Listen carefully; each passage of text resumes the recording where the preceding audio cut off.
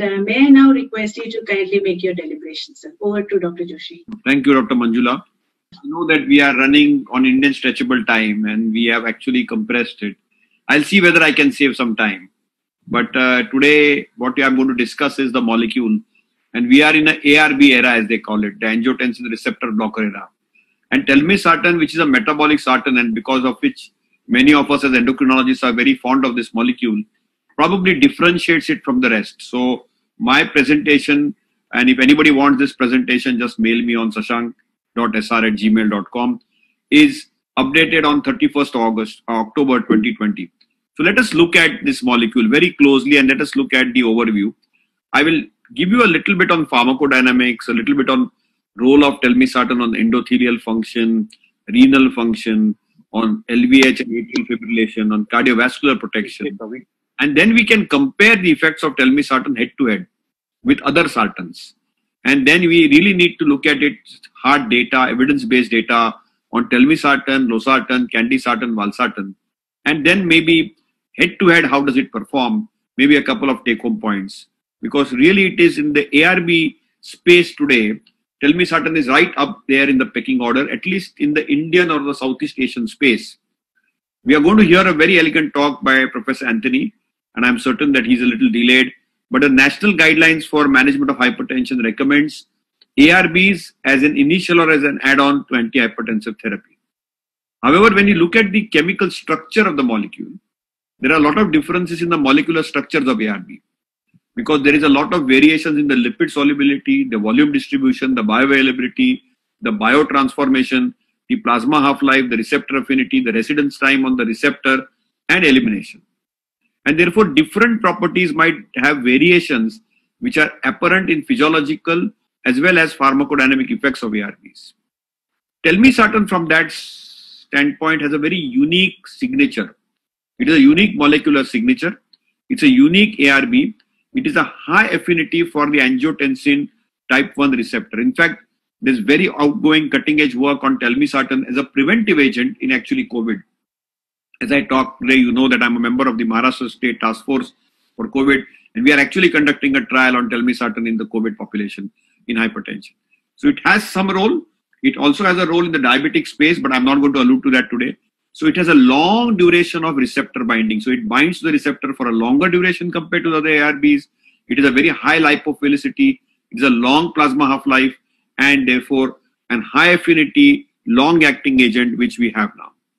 So clearly, if you look at the pharmacodynamics, the angiotensin 2 type 1 receptor binding activity of telmisartan has a Ki of 3.7 plus or minus 0.7 or AT1 receptor.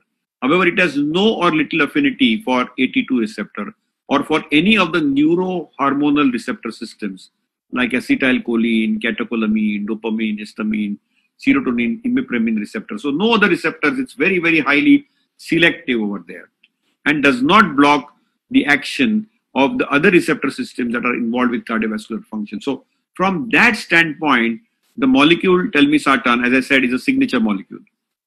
Clearly, from the pharmacokinetic standpoints, telmisartan is the most lipophilic of all the ARBs with a partition coefficient of a log of 3.2.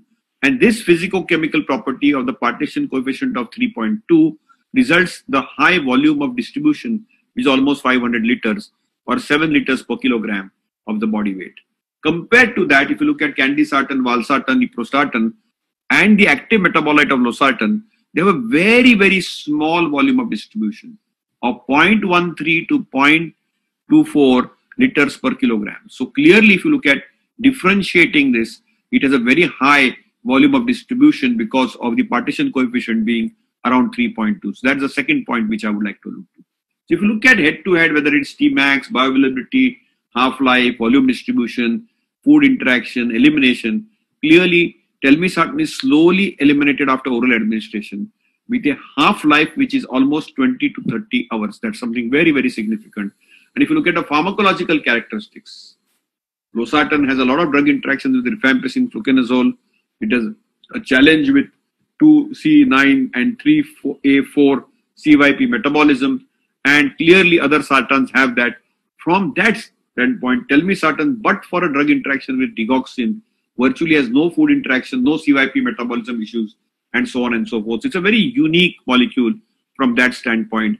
And clearly, if you see in the whole class of ARBs, it's the only molecule with a half-life of 24 hours. So that's really standing out very clearly. And therefore, it's something which we need to recognize very well and very well. So these physico-chemical differences in ARBs, do they matter? For example, we have three prodrugs in this generation. We have azilsartan, candesartan, olmesartan. These are all orally administered prodrugs. Now, the physico-chemical differences between ARBs manifest with different binding mode and tissue penetration. We know they have different binding pockets on the receptor on basis of the chemical structures. We also know receptor blocking action of some of the ARBs are mediated through active metabolites. And this leads to differences in dissociation time and in most cases apparently insurmountable antagonism. So tissue penetration, including passage through blood-brain barrier, can also be impacted. So obviously, optimal dosing, is there a difference between ARBs? For example, some ARBs lose their efficacy at the end of dosing interval. This is a head-to-head study, which was published by Smith et al. almost 17 years back, showing the loss of efficacy of losartan when it is compared head-to-head with telmisartan. Clearly, it all boils down to trough to peak ratio. We know trough to peak ratio is widely used as a measure of duration of antihypertensive efficacy. And if you look at the JNC6 recommendations, we need it more than 50% diastolic blood pressure, more than 50% systolic blood pressure. Losartan will have it at 35%, systolic 51% diastolic. But tell me, telmisartan 40 milligram has a 66% and a near 100% with diastolic and 80, 92% and 100%. So obviously, if you look at simple peak to trough ratio, Telmisartan produces a smoother blood pressure control over 24 hours than losartan, reflecting in the longer duration of action. So the data is pretty overwhelming and clear cut. Also, when you look at the plasma elevation half-life of ARBs, half-life of telmisartan is considerably longer than the other ARBs. Valsartan has 9 hours, candesartan has approximately 3 to 11 hours, ciprofloxacin 5 to 7 hours, the active metabolite 6 to 9 hours, irbesartan 11 to 15 hours. But telmisartan is right up there for 24 hours. The big thing about telmisartan, which is why many of us love telmisartan, is it's anti-inflammatory. It has been shown to lower inflammatory markers in hypertensive patients. This reduction was found greater in hypertensive patients who switched to telmisartan in initially those who were maintained with valsartan. The CRP reductions which were observed in telmisartan treated antihypertensive patients with metabolic syndrome was greater than valsartan treated patients and when you look at the extent of the study which was done of hypertensive patients who received Telmi versus Valsartan after sirolimus eluting stent insertions, again there was a superiority documented for Telmisartan versus Valsartan. Only Telmisartan was associated with a significant decrease in late lumen loss and inflammatory markers. And in type 2 diabetics, which is where my role comes in, the CRP reduction is quite robust compared to that of olmesartan, which might have a little more HR, HSCRP reduction. So obviously, also it's a metabolic sartan. A lot of people feel telmisartan, and that's the why, the reason we all as diabetologists love telmisartan is because it has a glitazone-like effect without the glitazone-like side effects. So this is head-to-head data which shows that telmisartan is the only ARB which has a 27-fold PPAR gamma activation. The cell-based assay system which clearly shows that telmisartan is 27 fold compared to any other sartan on planet Earth. And when you compare the ability of ARB with rosiglitazone or pioglitazone to activate PPAR gamma, you can see that telmisartan is almost at 50% compared to a pioglitazone or a rosiglitazone. So activation of telmisartan is 25 to 30% of the maximum level of the PPAR gamma activation, which is very, very unique. Beyond that, telmisartan also has an endothelial impact. 40 milligram has more favorable impact on the endothelial function compared to valsartan. And there was this TRENDY trial, which was a head-to-head trial, which was the first study to investigate RAS inhibition on endothelial function in the kidney, comparing telmisartan versus ramipril. And clearly, telmisartan and ramipril both improved endothelial function at baseline, though there was a numerically greater fall of renal plasma blood flow response compared to the L-NMMA with telmisartan. So obviously some numerical advantage was seen. On the renal function, when you compare head to head, telmisartan 40 milligram titrated to 80 versus losartan 50 milligram titrated to 100 in type 2 diabetic hypertensive patients who have overt nephropathy. Telmisartan reduced the primary endpoint of urinary protein to creatinine ratio much more, 29% compared to 20% of losartan over one year. And another uh, study also found that telmisartan significantly reduced microalbuminuria in hypertensive patients with metabolic sy syndrome, while valsartan patients had no effect. On LVH, the data is pretty clear cut. In hypertensive patients who don't require antiarrhythmic therapy, telmisartan significantly and more efficacious than carvedilol in preventing or delaying recurrence of AF. And here you can see that on the LV mass index mean, head to head with carvedilol, you can see a robust result which has been documented, including episodes of atrial fibrillation. And head to head, telmisartan versus carvedilol, if you look at the LV mass or the patients remaining free from recurrent atrial fibrillation, clearly telmisartan has been documented with some robust data. But the primum non nocere is first of all do no harm. Can an agent do cardiovascular protection? And the ONTARGET study compared telmisartan with the gold standard ramipril at-risk ACE inhibitor tolerant patients who don't have heart failure. And telmisartan was found non-inferior to ramipril.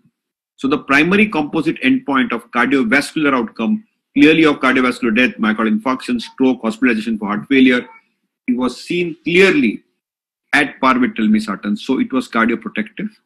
And the tolerance of telmisartan was much better because there were lower rates of cough and angioedema, which is a common side effect with tissue-specific ACE inhibitors like ramipril. So clearly it's a better tolerated agent and having a safe cardiovascular outcome status. And this is the robust data, which is very, very clear because we have the HOPE data with us. And when it is compared head to head with olmesartan on controlling blood pressure, telmisartan was more beneficial than olmesartan in controlling blood pressure early morning, as well as improving glucose, lipid profiles, hypertension, CHF, and metabolic syndrome. So truly, it's a metabolic sartan. And if you look at the deltas here of the BNPs and the systolic blood pressure, of the natriuretic peptides and the heart failure data, the data and the graphs speak for themselves.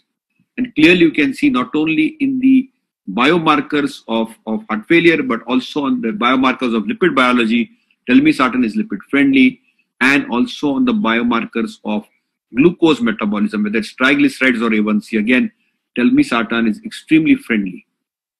So head to head when there is data of telmisartan versus ramipril, you can see that the data is pretty robust and you can see that a comparison of systolic blood pressure Telmi versus Ramipril has been pretty systematically there and both are equally effective as agents in mild to moderate hypertension.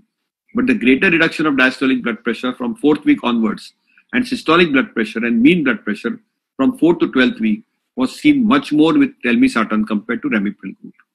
So clearly you can see that when we compare it with all other agents, whether it is telmisartan, losartan, candesartan, valsartan, and this is a very small study because it's very difficult to do head-to-head studies, in the response rate of systolic and diastolic blood pressure at different timings of the day, morning and evening, clearly telmisartan stands out as a single agent of choice. And when we measure home blood pressure monitoring, which we often do now in clinical care, you can see that again telmisartan stands out in this study very clearly and if you look at the duration of blood pressure lowering effect, the M to E ratio of each of the angiotensin receptor blockers, telmisartan is right up there on the pecking order. So clearly the data is pretty similar and overwhelming for telmisartan compared to the other ones. We also nowadays measure the home pulse pressure before and after taking the each angiotensin receptor blocker. And this is data of losartan, candesartan, valsartan, and telmisartan. And clearly you can see the delta for telmisartan is very robust and very unique. In terms of tolerability and efficacy also, you can see when it is compared head to head with olmesartan and losartan, clearly telmisartan scores over and that data is very robust when, when it comes to these groups on diastolic and systolic blood pressure. So obviously when it comes to Olmi versus Telmi, they're equally efficacious in lowering diastolic blood pressure. And losartan is the least efficacious. Olmesartan, when compared to Telmi and Losartan, probably is a little more efficacious in systolic blood pressure medication. But When it comes to the metabolic profile, telmisartan shows a favorable effect on fasting blood glucose and lipid profile. So these are some clear facts which we need to know and recognize better.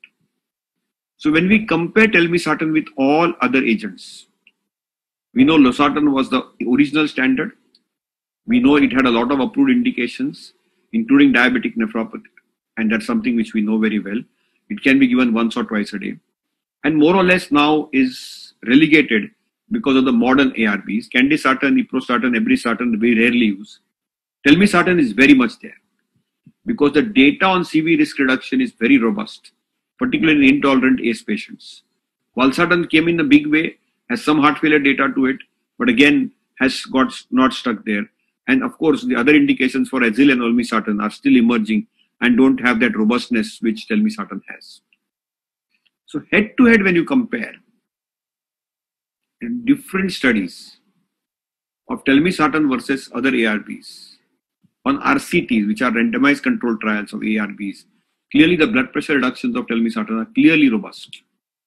So when you look at BP reductions in RCTs of ARB and diuretic combinations, which is like telmisartan with hydroxy uh, HCG or, or hydroxychloroquine or the thiazide diuretics as they call it, 12.5 milligrams of hydroxychlorothiazide.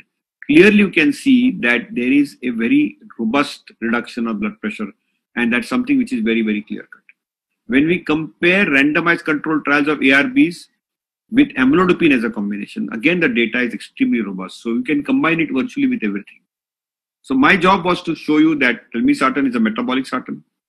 It is clearly distinguishing itself from the other members of the ARB class. It has a very promising role in controlling hypertension, glucose, and lipid profile. In India, at least, we use telmisartan. It's the number one agent which is prescribed by most doctors not only just for blood pressure control, for beyond blood pressure control, also for cardiovascular risk reduction. And probably it might have a valuable insight on stroke strategy. For brevity of time, I didn't discuss stroke data related to this. Thank you for a patient hearing.